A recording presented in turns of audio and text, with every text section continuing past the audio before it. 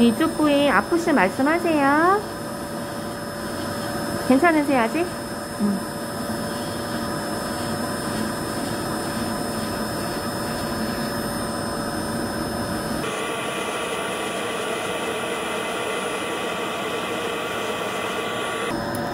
신발은 평소에 좀 꺾이게 신으시는 편이세요? 좀 크게? 음, 맞아요. 좀 크게 신어, 신어주셔야 돼요.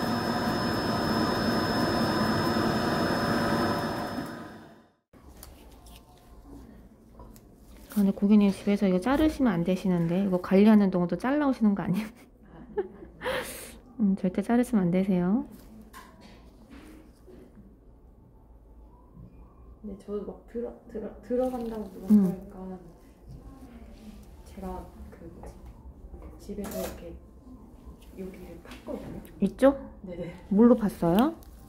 그 길다란 저희 이렇게 가는 아, 야스리 같은 거? 음.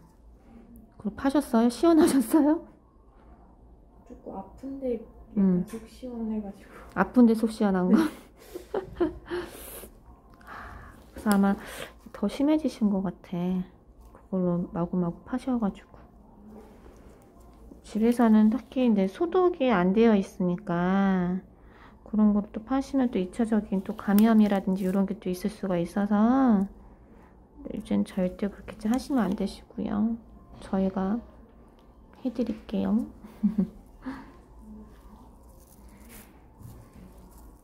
어, 발톱 뽑는다고 해가지고 무서워가지고 아, 병원에서? 네. 그럼 또 누가 어디서 들으셨어요? 어, 검색하니까 뭐 아, 네. 검색하셨구나. 병원에서는 이렇게 뽑거나 양쪽에 잘라내는 수술을 해야, 음, 그게 좀 아프다는 사람들이 좀 있어요. 음, 하시고, 하셨던 분들. 제가 좀 여쭤보거든요. 아팠어요? 그러면 아팠다고는 하시 다들. 음, 아프죠. 여기서 이게 된다고 하면 음, 음. 저희는 수술 없이 천천히 펴드려요. 음. 발톱 연화제도 한번 뿌릴게요. 발톱 연화제는 좀 발톱을 말랑말랑하게 해드려서 교정할 때 조금 더 효과 더 볼 수 있게 해드리는 거거든요. 그래서 이쪽 반대편도 좀 뿌려놓을게. 이렇게. 집에서도 이렇게 관리할 때 사이드 쪽에 한두 방울 뿌려서 이렇게 문질문질 흡수만 시켜주시면 되거든요. 지금 심한 편이에요? 응? 심한 편이에요? 고객님이요? 딱 심한 편은 아니신데 약간 좀 염증이나 고름이 있으셔가지고 조금 힘들긴 해요.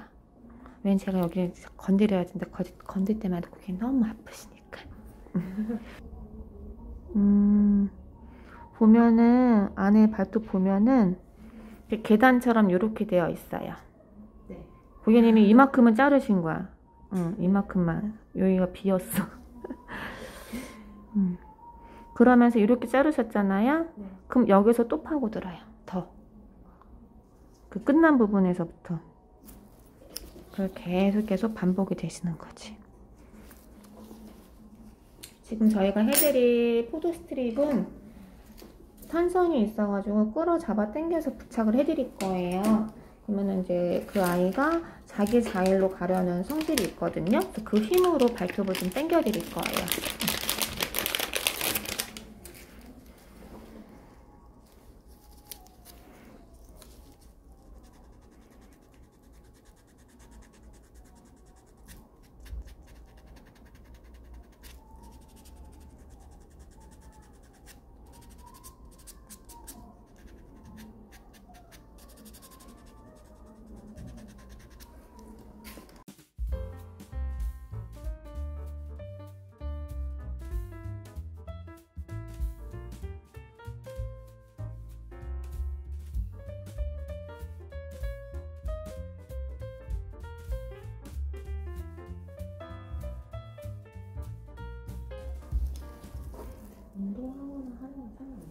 운동은 상관없으신데 과격한 운동 같은 거 있죠.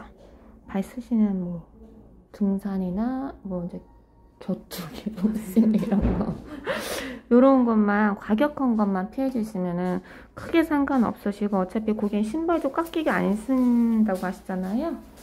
음, 깎인 신발 피해 주시고 이렇게 하시면은 전혀 문제는 없으세요.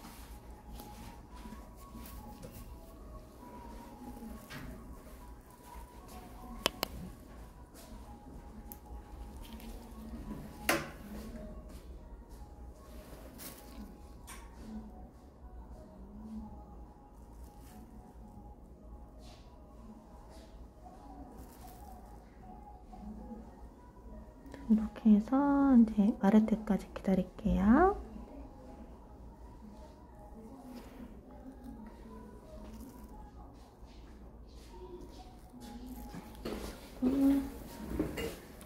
또 네, 마무리가 다 되셨고요.